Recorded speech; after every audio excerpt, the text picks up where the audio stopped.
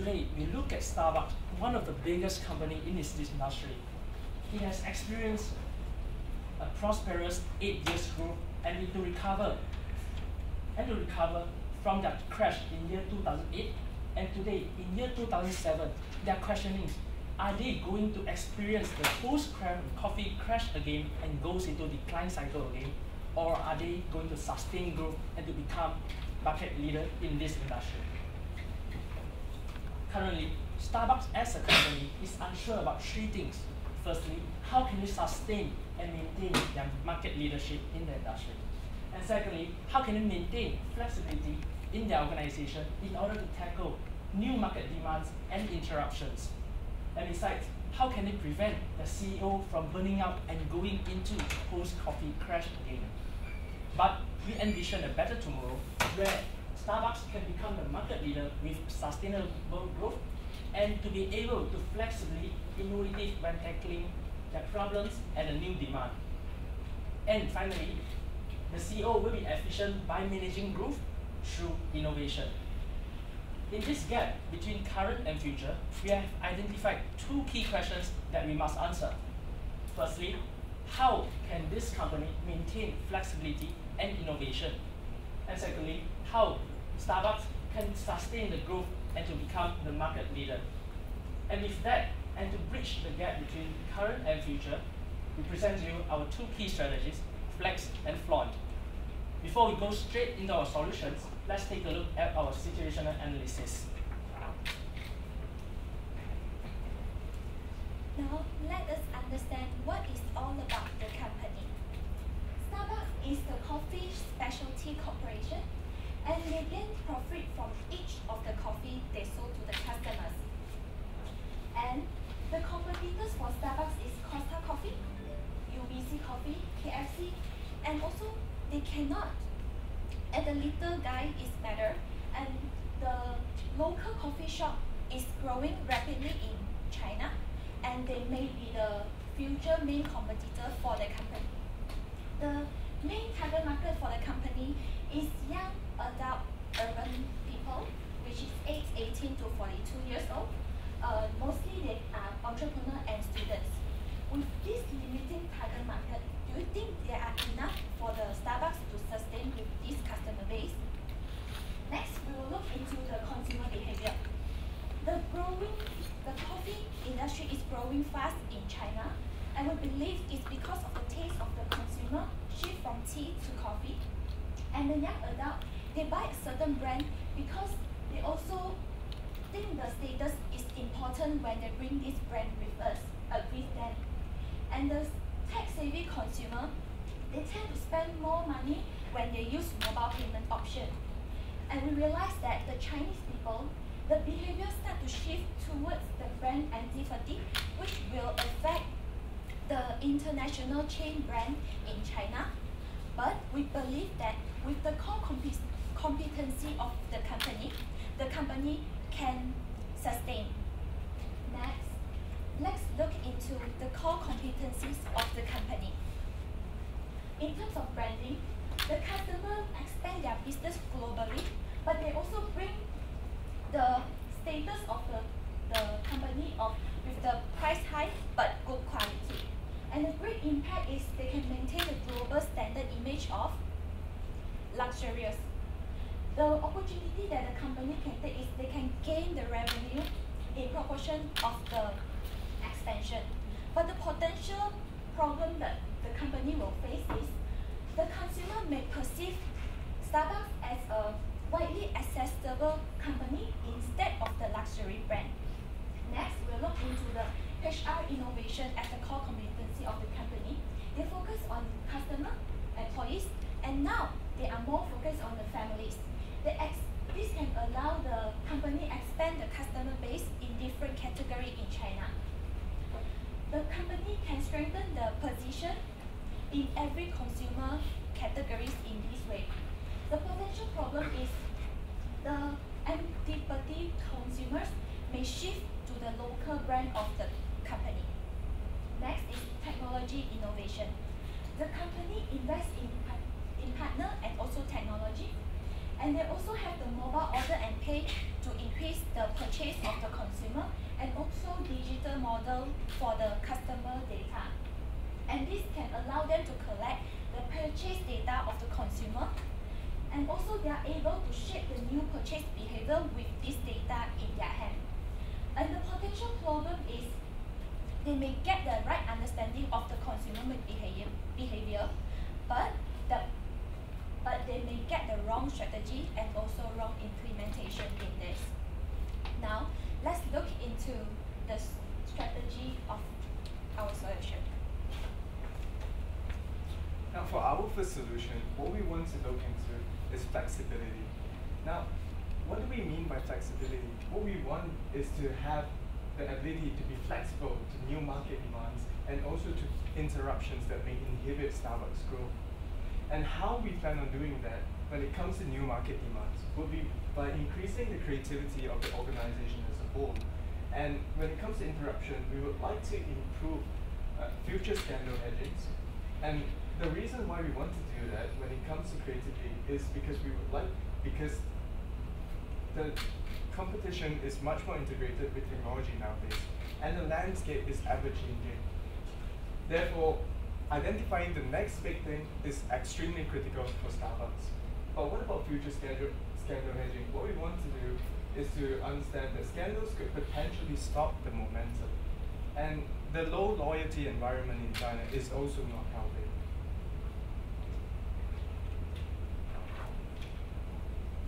So we've crafted a three-step process in order for, for the formation of creativity. Now, in the first step, what we plan on doing will be to actually go through a cultural restructuring and we plan on taking a few of the methods from Zappos, a company that is that has optimal performance and also innovation. First, we would like to discover the pain points. We would like to know what to innovate and also what is inhibiting innovations in Starbucks. And once we have information, we would like to set up, we would like to focus on regular workshops where we would actually have latest innovation sharings and we would also induce a sense of innovative mission. Lastly, we would actually go through the change in terms of key performance indicators. This is simply because uh, most of the key performance indicators are on the profit basis, but what we want to do would be to actually induce the need for creativity as well in the corporate culture. One of the few things that Zappos had done was to encourage their employees to actually read books such as The Innovator's Dilemma in order for them to answer the questions that would be asked on the basis of the book in order to go through executive promotions. Now, for the second step, what we want to do would be to encourage cross-functional teams. One thing that we plan on doing would be to do hackathons, which will be held internally in the company. Uh, hackathons are basically where a diverse, a diverse team from different departments such as marketing, tech, and design would come together and they would form a product in a short period of about 24 to 48 hours. This would be following the Facebook hackathon theme. What about environmental manipulation? What we want to do will be to, to actually have lesser toilets in the different department areas. This was actually done by Pixar, where they wanted different individuals from different departments to clash with each other and to actually have multiple conversations along the way. And during lunch hour, what we plan on doing would be to have smaller and lesser tables in the company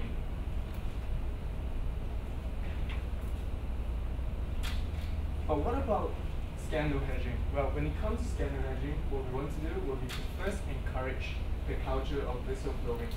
We will be using technology to leverage on this, and we will, we will have human responses where we will provide monetary incentives, and also artificial intelligence that would actually be used to indicate if there were any automatic problems that were happening. We would also have third-party quality checkers uh, we would be taking this from the case study of Mattel, where they actually had a lead scandal in about 2008, and what they did to fix this problem was by having third-party QCs. And also, we would like to have a diverse board of directors, 360-degree disintegrity edge. We will have people from software, from hardware, from F&B. For the last step, what we want to do would be uh, would be to have simple systems to engage customers for their ideas. To uh, this can actually be done by encouraging it via competition. And lastly, the CEO will actually be able to make better decisions from the diversity of the ideas from the creativity section. And then the CEO will be able to perform faster execution from the less interruption that was that was uh, such a problem for the company. It will eventually lead to higher efficiency and lower burnout rate. So what are the key takeaways for Flex? Flex focuses on enhancing flexibility in tackling new market demands and also interruptions. This forms a structure which reduces the burnout rate of future CEOs. Now let's look into second solution. Now that Starbucks has Flex and to be ready to face its in the you know interruptions, now it's time to flaunt to grow with innovation. They've came out with a two-plan strategy which focuses on strategic alliance and customer attachment quancy. Firstly, strategic alliance.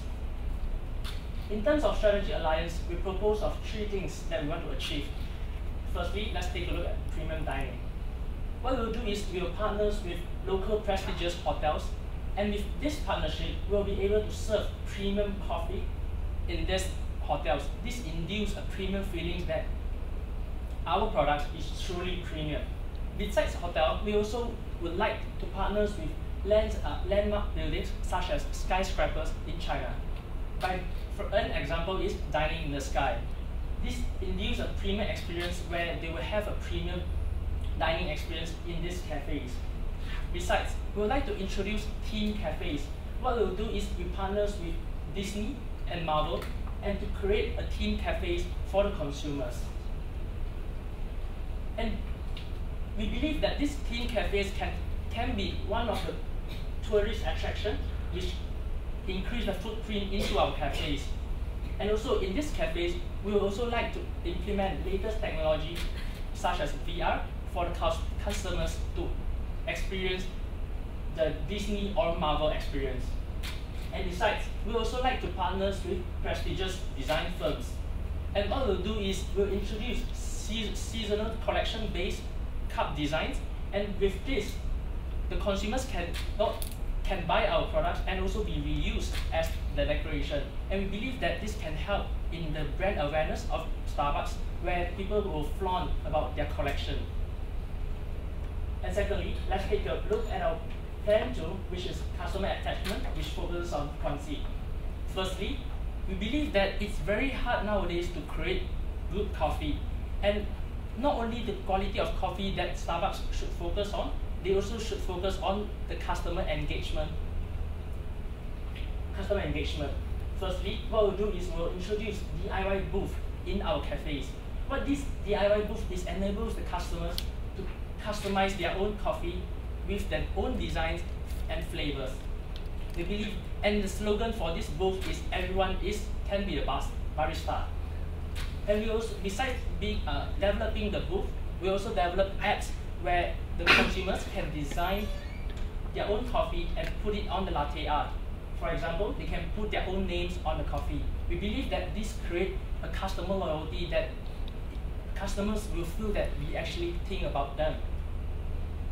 And besides, with their own customized coffee, the customers can submit their own design and the names for voting competitions the most popular design will be rewarded and also be incorporated in our menu.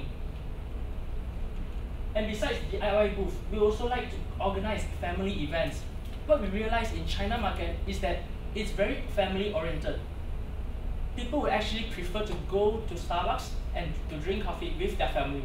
And with this, we'll organize events such as Kids Barista program where the family parents can bring their own kids to learn about how to make coffee. And besides, we also organize cup design competition where kids or adults can design their own cups and the best designs can also be incorporated in our portfolio. And besides, we'd like to introduce Premium Club. What this Premium Club is that the highest, the high spending consumers and also the coffee enthusiasts is eligible to become part of our Golden Star Club. And these Golden Star Club members will be invited to exclusive events such as dinners, treats, and product launching. We also would like to engage this, these members to become part of Starbucks. And what they can do, they can they will like uh, they will be able to try our new products before launching to the mass market, or also, or also provide new ideas for our company. The key takeaway of this flaunt is rather simple. It focuses on the two-plan strategy, strategic alliance, and customer attachment to manage and sustain growth through innovation in order to become the market leader in the industry. With the two key strategies of flex and flaunt, Starbucks will need effective implementation timeline to execute these two key strategies. First, we look at the flex in the quick win Starbucks will need to implement the culture restructuring, followed by cross-functional team building as well as scandal hedging for the future, followed by the competition. And for the second, second strategy of flaunt, Starbucks would need to first uh, engage their customer through the DIY booth, the family event, as well as the premium club. And then they will need to execute the strategic alliance, which is planned in the short run, such as the premium dining, Team Cafe as well as the prestigious design. With the effective implementation timeline, first we look into the key financial impact in terms of the cost. So for the first strategy, we have the highest cost incurred in the workshop, KPI, and competition. So for the workshop and KPI, it's internally organized, therefore the cost can be minimized. And for the competitions, we will have the small team of organizers with the same uh, objective, therefore the cost can be minimized. And the, for the second strategies of flaunt, the highest cost incurred are, there are five.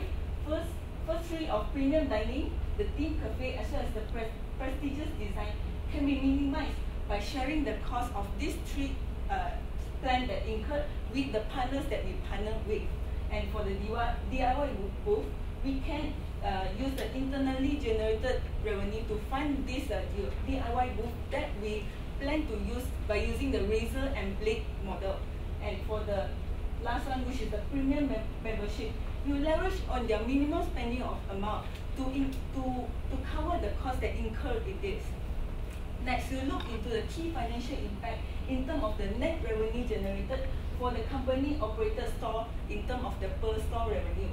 So looking at the data that we obtained from the case study of 2014 to 2015, we have around 400 uh, per store that revenue generated, and in 2015 we had around 600 USD that generated per store.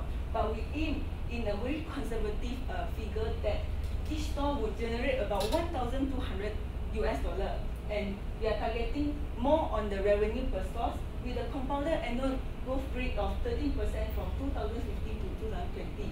And we put the conservative manner into this amount as due to the store operating expenses, which are currently 30%, but with the implementation of the flaunt strategy, we believe this cost will rise more than just 30%. As no strategies are perfect, we have constructed the risk plotting as well as the mitigation plan. So first we have the risk plotting of external board, their willingness to be our external board in this Starbucks. And we have the mitigation plan of the branding of these Starbucks as well as their network of the C-suites executive. And for second risk, we have the willingness of their partners to partner with us. So we have the win-win contract as well as in the long term. And thirdly, we have unable to adapt in terms of the staff and this can be used by bottom-up response followed by lack of participation of their customer by localizing our idea and strategies in the Chinese market. Currently, Starbucks is unsure of how to sustain growth and how to maintain market leadership. It is also unsure of how to maintain flexibility when tackling new market demands and also interruption it's also facing a problem where the CEO is consistently facing the burnout. But we envision the future with our solutions. To form a better market leader, to become the better market leader with sustainable growth, and also to improve flexibility when it comes to tackling problems and demand. The CEO will also be much more efficient by managing growth through innovation. Once again, our solutions, Flex and Flaunt. Thank you. That concludes our presentation, and the floor is now open Thank you very much. Kip. And now we will have a Q&A question for 15 minutes.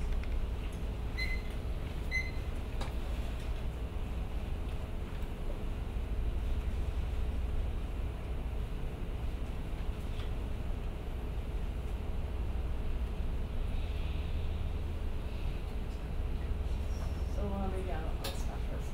Thanks for that, uh, good presentation. Can I just ask about your flag strategy, which was, uh, with regard to, I think some of the, uh, you know, how do you organize staff, you know, across functions and across different departments, right? So, I don't know whether I remembered correctly about what you presented, but my, my question, you know, what, thing that came into my mind was, uh, uh, yes. Is this something that you find from the case study uh, that is specific to Starbucks, or is that a general uh, recommendation that you see some of the downtrend of Starbucks was in relation to certain um, you know staff or operational strategies that were not working? So what inspired you uh, on, on this? You know, when we say encourage cross functionality, so what is it in the case study that you picked up that you an impression that certain things were dysfunctional? Uh, basically, one of the largest problems in the case that we've noticed is that uh, Starbucks is getting relatively bigger. Mm. When it was much smaller and when it was introduced in China, Mm. having its first store in about 2011, yeah, it was able to fluctuate depending on the and had major flexibility depending on the situation. And when it came to becoming relatively bigger and bigger and bigger and bigger, it faced a huge problem because all these smaller companies uh, and also the anti-pathy society in China. So what we what we realized was that in order for us to truly overcome this kind of situation, we needed to move fast. We needed to. We even thought about uh, acquisition, but we wanted to achieve both goals of having more stores and also being able to be nimble. So what we decided was that this would be the best way to do it at a lower cost too. to add on on that, and in order to be innovative with our cloud strategy, it's important that the company itself has made the has made the company itself uh, with flex strategy to be innovative from the inside before they flaunt it to the outside. Hello. Can I take Grace's question further? Um, I'm the fans of HSBC because this question, uh, I received the question from HSBC every time I do the presentation on the group strategies and local and country specific um, strategies. I, I hear your presentation this morning. Um, what is anything special for China? Starbucks in China? In your, um, in your in your presentation because many of your presentation to, to, to me I feel that this is generic applies to all the country Uh, okay, so as I to be fair because you, you, you come from Malaysia you know, you are talking that China is a mystery to you but can you come across in your case anything you think specific you can do in China or Uh, Starbucks Well, uh, just to address your first concern first, the, the actually, it actually came from induction. Our analysis actually came from induction. Our solutions came from. Simply because when you first enter the market, like when China first entered the market, which was not very long ago, I mean Starbucks entered the Chinese market, which was not very long ago, it doesn't really have, uh, it was it was nimble, and right now it's not very nimble, and we've noticed that trend, and we realize that some of the solutions can be a bit general, but actually, if you look at it properly, we've realized that this solution can really be applied to this situation specifically. The two things that we realize that, that is special to China is first thing is we realize that as opposed to the West, China China is more uh, is more conscious about the status uh, status of the products that we are using. So we, we have to ensure that by expanding, we are not destroying our own brand, brand prestigious. And the second thing is that as in the family event strategies, we realize that as opposed to the West, the West they tend to go alone to the uh, cafes to drink coffee. Meanwhile, for the uh, for China, they actually prefer to drink coffee with their families. And just to add on a little bit, the reason why I had to say that uh, we want to focus on flexibility is because the trust of the brand loyalty when it comes to Chinese consumers are not very high. It was stated specifically in the case where only about 35% of uh, recurring customers continue grocery purchase compared to the West. So the reasoning behind the flexibility is in order to counter such a market opposition as well. And to address these specific problems of low customer loyalty, this is what inspired us to come up with the premium club membership. Mhm. Okay, thank you. Just in terms of launch, what are your thoughts about you know, the three uh, which you had, the strategic alliance, the customer attachment, and, and premium club? A lot of that tends to be more around keeping customers loyal. That seems to be the theme. What about growth? How do you get growth? Because this is going to cost money. Uh, and then keep a customer loyal. Do you expect them to drink more coffee, or and therefore get more profitability, uh, more revenue? How does how, how do you look at those two? Or did you did you think about uh, revenue versus stickiness as being the business model for, uh, for your presentation? Okay, well, uh, just to address it, bit, Well, basically what we notice is that innovation leads to more users, and more users eventually creates a networking, I mean, sorry, a sticky effect, which will lead to a network effect. And what we want to do would be to create the platform in order to be the catalyst of that kind of reaction first. And eventually, although, as you've said, the cost will actually be higher right now, but eventually, the, the cost, eventually we would face an exponential growth with the network effect that we create as a catalyst. You. We still have a few minutes. Yeah, so probably just going back to your, you know, the, the problem statement which you were trying to address. I think the, the point which you made uh, here was, you know, is it China? Is it more general? So I think when we talk about the first two is fine, could be probably China. The third one, which is the CEO,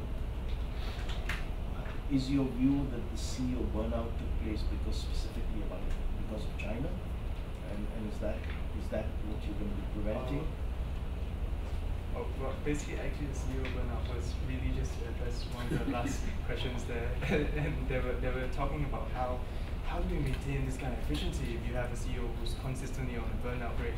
So we noticed that uh, we saw a direct link, and we noticed okay, why not, in order to improve the efficiency of everything, and even the CEO himself, so we created this kind of system.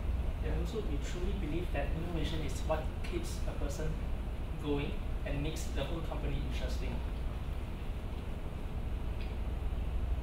and especially in China, because of how the technological revolution, the fourth revolution as stated in the case, and what we want to do will be to really integrate that understanding, that notion, and to just dive right in and ensure that we achieve those targets.